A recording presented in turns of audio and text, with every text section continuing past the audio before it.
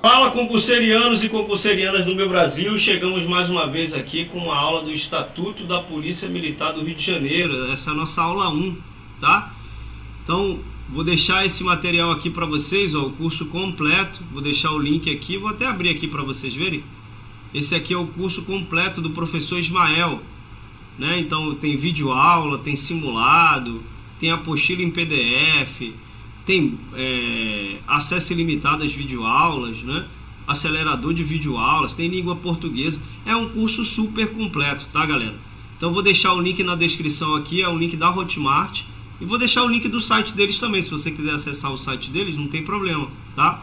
Então aqui eu fiz uma pesquisa para saber qual era o curso mais barato, qual era o curso melhor. Eu achei cursos de 300 reais, de 800 reais. E esse curso que é muito bem recomendado, inclusive ele tem aqui, ele só tem nota 5, ele só tem 22 avaliações nota 5, né? Então ele tem aqui, ó, vários comentários do curso, aqui, curso extremamente didático, este curso me salvou, né? O PM é o curso online mais completo. Então você pode comprar esse curso aqui através da, da, da Hotmart, que é uma, uma plataforma muito segura. Você tem sete dias aí, se você não gostar do curso, você tem sete dias para pedir o reembolso. Eu tenho segurança para falar isso porque eu já comprei na Hotmart, solicitei o reembolso e foi é, reembolsado tranquilamente, tá? Então você tem essa garantia de fazer a compra pela Hotmart. Então eu vou deixar o link da descrição desse curso aqui, vou deixar o link também do site se você quiser acessar, beleza? Então, é, show de bola, vamos começar a nossa aula, que a gente vai começar falando do Estatuto da Polícia Militar do Rio de Janeiro. Lembrando, galera, que esse concurso, eles são duas mil vagas, tá? O salário ele pode chegar a 5.233. Então, durante o curso de formação para soldado, o salário é de 2.956. E essas ofertas elas são tanto para homem como para mulher, entre 18 e 32 anos, tem que ter um ensino médio completo e tem que ter carteira de habilitação a partir da categoria B. Show? Então vamos começar aqui falando do artigo 1, nas disposições preliminares. Né? Então, o presente estatuto regula a situação, obrigação, deveres, direitos e prerrogativas dos policiais militares do Estado do Rio de Janeiro. Então, o que quer dizer esses, é, essas situações, obrigações, deveres, direitos e prerrogativas? Né? Então, situação refere-se à condição em que os policiais se encontram no contexto da instituição né? Então isso pode incluir questões relacionadas à contratação, a vínculo empregatício, a progressão na carreira, entre outros aspectos. Então, esse estatuto regula também as situações. As obrigações são os deveres e responsabilidades do, do, do policial militar. Né? Ele deve cumprir ali esses deveres durante o exercício de suas funções. Então, isso pode envolver tarefas como manter a segurança pública, proteger a população, né? Então o policial ele tem que fazer esse papel de proteção da população, tá? Então esse estatuto também vai regular as obrigações dele. Os deveres, né? Dever nada mais é do que são comportamentos e ações esperados pelos policiais militares e direitos e prerrogativas dos policiais militares. Então esse estatuto ele também vai é, falar sobre os direitos que são os benefícios, as prerrogativas, as garantias que os policiais é, possuem no exercício de sua profissão. Pode incluir direitos trabalhistas, é, remuneração justa, condições de trabalho adequada, entre outras coisas. Beleza? E, e, as prerrogativas são os privilégios, né? Então o policial ele pode, é, ele pode, ele é a lei, ele responde pelo Estado.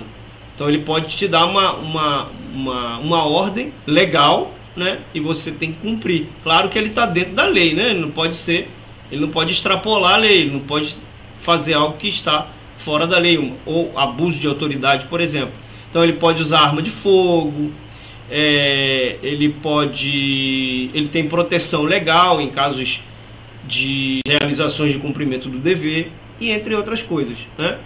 O artigo 2 ele vai dizer o seguinte, ó, a Polícia Militar do Estado do Rio de Janeiro é subordinado ao secretário de Estado de Segurança Pública é uma instituição permanente organizada com base na hierarquia e na disciplina destinada à manutenção da ordem pública do Estado do Rio de Janeiro, sendo considerada força auxiliar, reserva do Exército. Então, a Polícia Militar do Estado do Rio de Janeiro ela é subordinada ao secretário de Estado de Segurança Pública, né? Então, o, ela é, ela está subordinada ali ao secretário de Segurança Pública, né? Então, isso significa que significa o quê? Que ela está abaixo do secretário de Segurança Pública. É uma instituição permanente, ou seja, ela está sempre ativa. Ela nunca acaba. Ela está sempre presente, está sempre ativa, né? E ela é organizada com base na hierarquia e na disciplina. Então existe lá soldado, tenente, né? Então é, ela, você tem que respeitar essa hierarquia.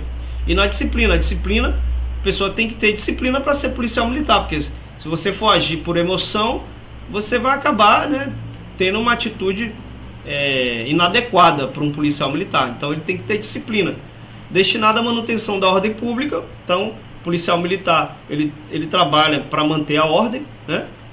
É, sendo considerado uma força auxiliar. Então, o que quer dizer essa força auxiliar? A polícia militar ela trabalha em conjunto com outras polícias, pode ser a polícia civil, as forças armadas.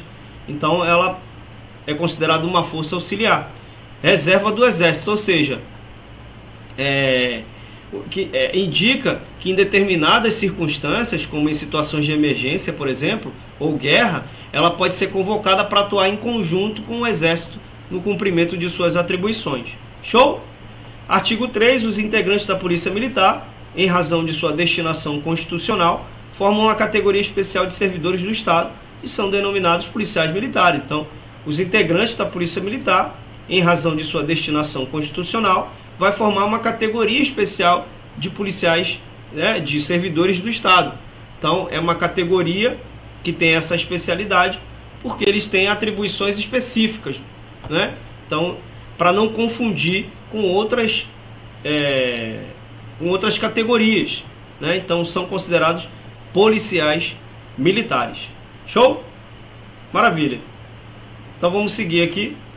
Parágrafo 1. Os policiais militares encontram-se em uma das seguintes situações.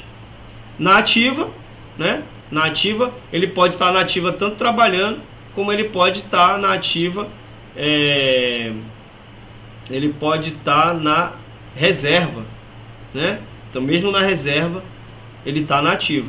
Então, aqui, letra A, os policiais militares de carreira são aqueles policiais que estão na ativa, né? Que estão lá exercendo suas funções. Os temporários incorporados, aqui no, no B, né? Os temporários incorporados à Polícia Militar para prestação de serviço militar voluntário durante os prazos previstos na legislação que trata do serviço policial militar temporário voluntário. Então existe essa função, né? Ele, mesmo sendo temporário, ele está na ativa, né? Então é, você pode ser incorporado na Polícia Militar para prestação de serviço voluntário durante prazos previstos na legislação, tudo dentro da lei, né? Na, no inciso C, na linha C, os componentes da reserva remunerada da Polícia Militar quando convocados. Então, os componentes da reserva remunerada é aqueles, é aqueles é, policiais que eles estão na reserva, eles não estão trabalhando, né? Por que, que eles estão na reserva? Né? Eles estão na reserva porque a reserva remunerada é uma situação em que o policial militar após ter cumprido o tempo de serviço estabelecido, passa por uma situação de inatividade, mas ainda mantém um vínculo com a Polícia Militar. Então, em determinadas circunstâncias, esse membro da reserva remunerada, ele pode ser convocado para prestar serviços específicos ou em situações de emergência. Então, ele é considerado na ativa quando convocado. Ele está lá inativo, mas quando ele é convocado, ele se torna ativo, tá? Os alunos de órgãos de formação de polícias militares da ativa. Então, os alunos, né, os refere-se aos indivíduos né, que estão em processo de formação para se tornarem policiais militares. Então, esses alunos frequentam órgãos ou instituições de ensinos específicos que têm como objetivo preparar eles né, para ingressar na carreira policial. Então, durante esse período de formação, eles são considerados integrantes da Polícia Militar, tá? Então os alunos também são integrantes da Polícia Militar. Show? Então o artigo 4, o serviço militar consiste no exercício da atividade inerente à polícia e compreende é, todos os cargos previstos na legislação específica relacionados à manutenção da ordem pública. Então, o serviço da Polícia Militar é, refere-se ao serviço da polícia, né? Então, consiste no exercício de atividades inerentes à Polícia Militar. Então, essas atividades são aquelas que fazem parte das atribuições e competências da Polícia Militar. Então, isso pode incluir, incluir patrulhamento ostensivo, manutenção da ordem pública, prevenção e, repre, é, e repressão de crimes. Então, o serviço militar consiste no exercício de atividades da Polícia Militar. Né? Você não pode, é, tipo, sei lá, é, nem sei se existe isso, mas você não pode varrer a rua. se você até pode, né? Mas não é um, um, uma atividade inerente da Polícia Militar. Então compreende todos os encargos previstos na legislação específica, né? existe uma legislação específica relacionados à manutenção da ordem pública. Então tudo é relacionado à ordem pública, né? Então esse é o propósito principal do serviço policial. O policial é responsável para garantir essa segurança, né? A tranquilidade, o cumprimento das leis na sociedade. Então, o quinto, a carreira policial militar é caracterizada por atividade continuada, inteiramente devotada às finalidades precípuas da Polícia Militar, denominada atividade Polícia Militar. Então, aqui está dizendo que a carreira policial militar é caracterizada por atividade continuada. Né? Então, o que, que ele quer dizer com isso? Né? É, significa que a carreira policial militar é uma jornada profissional que requer dedicação constante né, é contínua por parte dos membros da Polícia Militar. Então, os policiais militares eles devem estar prontos para atuar e cumprir com suas responsabilidades a qualquer momento, estando disponíveis para servir a sociedade. Show? Então, aqui é caracterizado por atividade continuada, inteiramente devotada às finalidades da Polícia Militar. Então, é só a finalidade da Polícia Militar, denominada atividade policial militar tá? O parágrafo 1, a carreira policial militar é privativa do pessoal da ativa, inicia-se com o ingresso da Polícia Militar e obedece à sequência de graus hierárquicos. Então, a carreira policial militar, ela é privativa do pessoal que está na ativa, que é um policial militar, né? Tanto aqueles que estão na ativa, né, policiais de carreira, como aqueles que estão na reserva. Então, todo mundo que está na ativa, todo mundo que é policial militar, exerce a carreira de policial militar, ela é privativa do policial militar. Então ela inicia com ingresso na polícia militar, você vai ingressar na polícia militar e obedece a sequência de graus hierárquicos. Então você vai entrar, geralmente você entra como soldado e depois você vai subindo a, as carreiras, tá? É privativa de brasileiro nato a carreira de oficial de polícia militar. Então só pessoas que nasceram no Brasil pode ser policial militar. Imagine se botar um talibanês para ser policial no Brasil. O cara vai jogar uma bomba lá, vai pegar as armas vai matar todo mundo. Tem que ser policial nato, tem que ser policial brasileiro nato. Que aí ele sabe, né, que o seu país, ele, ele tem uma, uma aproximação com o seu país, ele tem um, um certo patriotismo com o seu país, né? Então, é privativa de brasileiro nato. Se for brasileiro naturalizado, o gringo chegou aqui, passou 15 anos, cumpriu, casou com uma brasileira, se tornou brasileiro naturalizado. Então ele não é brasileiro nato, ele é brasileiro naturalizado. Então só quem pode é pessoa que nasceu no Brasil, né? Existem outras prerrogativas que, que estabelece que você é brasileiro nato, não só nascendo no Brasil, mas aí a gente tem que ir para a parte da Constituição Federal, enfim. Mas se você for uma pessoa que é brasileiro nato, você pode ser policial militar. Show?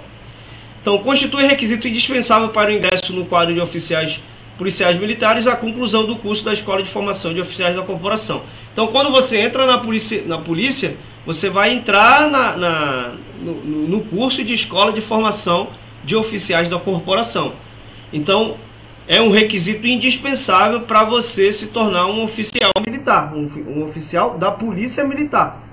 Então você tem que concluir é, é, esse curso da escola para você poder é, ingressar no quadro de oficiais das polícias militares. Show? Maravilha.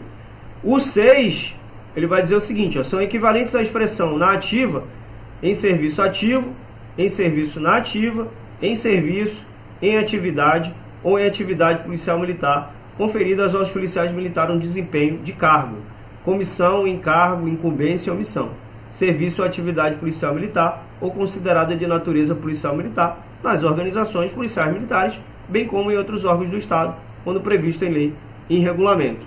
O que quer dizer isso daqui, pelo amor de Deus? Vamos lá.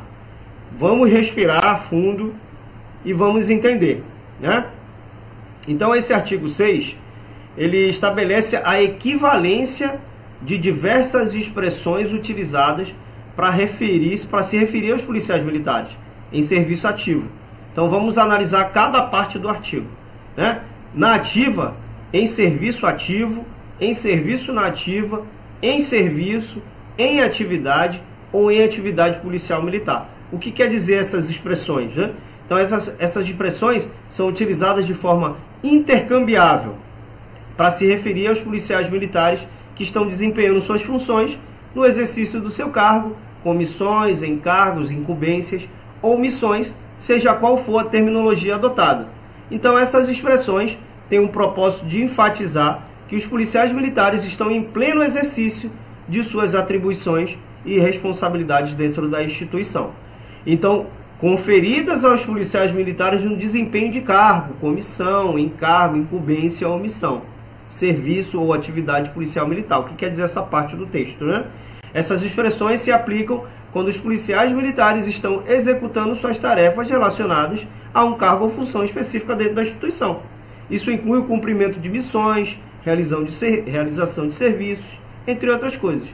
Então, considerada de natureza policial militar nas organizações policiais militares, bem como em outros órgãos do Estado, quando previsto em lei ou regulamento. Então, essa parte do artigo estabelece que as expressões mencionadas anteriormente podem ser aplicadas tanto na, na organização policiais militares quanto em outros órgãos do Estado, desde que haja previsão legal ou regulamentar específica. Então, isso significa o quê?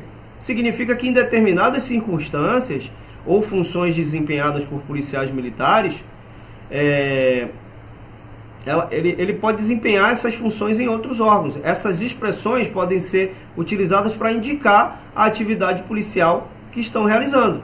Né? Em resumo, vamos resumir, para ficar melhor o entendimento. O artigo ele vai esclarecer o quê? Que as expressões relacionadas à atuação dos policiais militares em serviço ativo são equivalentes e podem ser utilizadas de forma intercambiável. Então ele vai fazer um intercâmbio. Ele vai fazer ali um, um, um movimento. Né? Tanto na Polícia Militar quanto em outros órgãos do Estado, desde que se tenha uma previsão legal, né? desde que, regula, eh, que tenha uma regulamentação específica.